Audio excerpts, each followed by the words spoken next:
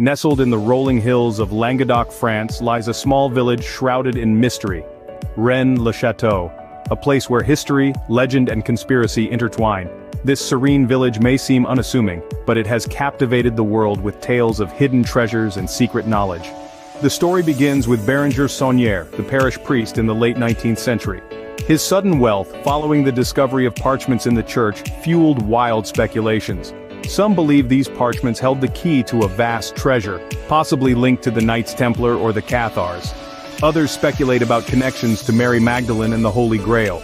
Rennes-le-Château also finds itself at the heart of geometric alignments. Lines drawn between historic sites across Europe seemingly converge here, hinting at an ancient, unknown significance. Despite numerous investigations, the truth behind Saunière's wealth and the village's mysteries remains elusive.